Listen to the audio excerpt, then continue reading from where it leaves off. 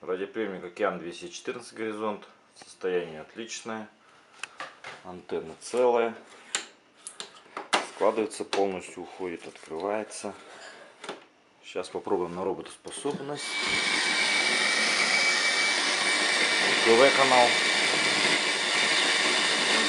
По 3 июня победители отборочных туров отправятся на региональный фестиваль.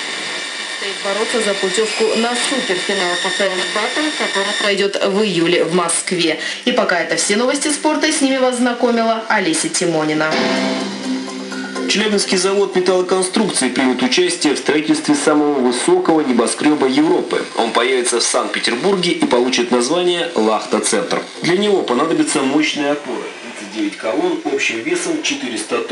Их изготовят на Челябинском заводе. Сборка колонны состоит из 9 операций. Сварные швы проходят тщательный ультразвуковой контроль. От точности в изготовлении колонн зависит безопасность здания в 86 этажей. Небоскреб планируют открыть в 2018 году. Пернатые синоптики предсказали погоду на лето. Выполнить эту важную миссию впервые доверили африканским страусам. Какой прогноз сделали обитатели Челябинского зоопарка и можно ли ему доверять, узнала Юлия Меньшикова. В зоопарке Челябинска